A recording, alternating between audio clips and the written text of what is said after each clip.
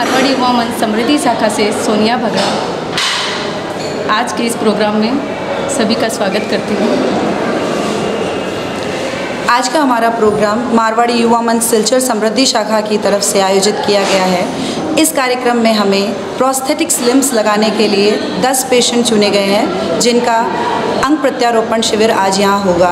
ये कार्यक्रम 11 बजे से लेके 11 बजे से शुरू होगा और इसमें हमारे सिलचर शहर के जाने माने सारी हस्तियाँ यहाँ उपस्थित रहेंगी, जिसमें एसपी सर एडीसी मैम और हमारे समाज के विशिष्ट अतिथिगण यहाँ प्रस्तुत होंगे।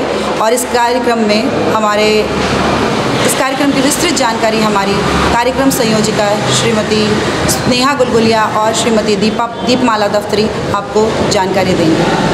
गुड आफ्टरनून मैं नेहा गुलगुलिया। और मैं दीपमाला दफ्तरी। हम प्रोजेक्ट के कन्वेनर्स हैं।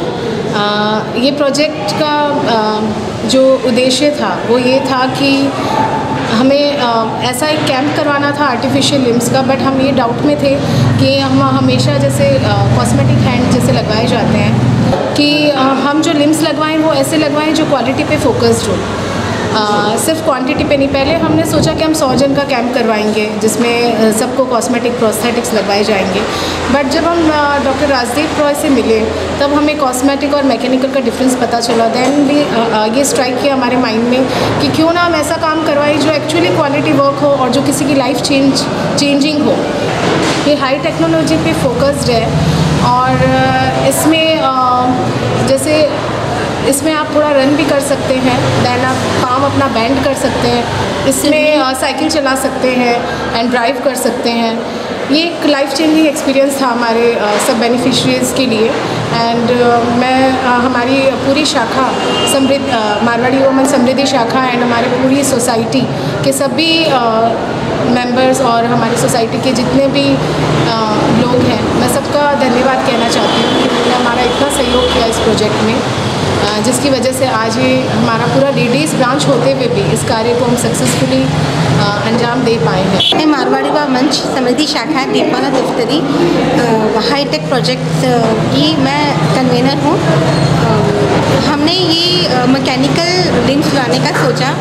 हमें डॉक्टर राजदीप रोहित जी ने हमें बताया कि हमें हमें कॉस्मेटिक से बेटर हमको मैकेनिकल लगवाना चाहिए, जो पेशेंट के लिए ज़्यादा यूज़फुल होता है और जिससे जो पेशेंट है, वो मतलब रन कर सकते हैं, स्विमिंग कर सकते हैं, चल सकते हैं और जो फिंगर्स हैं वो आफ्टर सम टाइम प्रैक्टिस करने के बाद में, वो प्रैक्टिस करने के बाद वो उनकी फिंगर्स दो या तीन मूवमेंट भी करती हैं।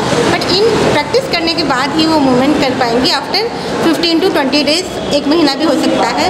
और मैं ज़्यादा कुछ नहीं कहना चाहूँगी। मैं मारवाड़ी वमन समृद्धि शाखा के सभी मेंबर्स को थैंक यू करना चाहूँगी। आज उनका साथ रहा, हमारा, हमारे साथ रहा।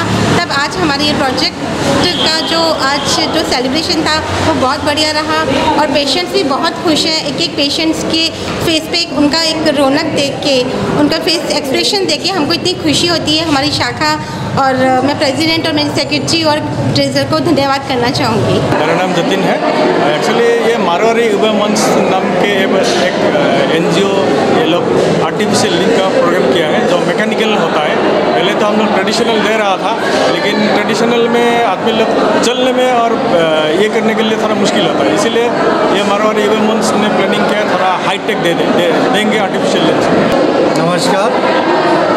मैं सिलचर सिलचर का जो जो है मरवारी युवा मंच हम सब लोग विकलांग लोग यहाँ का दिव्यांग दस बारह आदमी आर्टिफिशियल लिंक हाथ और पैर का जो लगाया ये लिए एक सहारा है। हम सब लोग का तरफ़ से ये मंच का मातृशक्ति जो हमारा महिला माया लोग है, ये हम लोग का चलने का और एक आर्टिफिशियल जो हैंड दिए और इसके लिए मैं सही दिल से धन्यवाद करूँगा। कि हमारा गुवाहाटी से आए हुए हैं सर। इन्होंने ये काम को बनाया है मैकेनिज्म उनका है क्योंकि इनका मैन्युफैक्चर है। उन्होंने बहुत बढ़िया क्वालिटी से हम लोग को एक जीने का उम्मीद जगाया और सारा भी बन गया।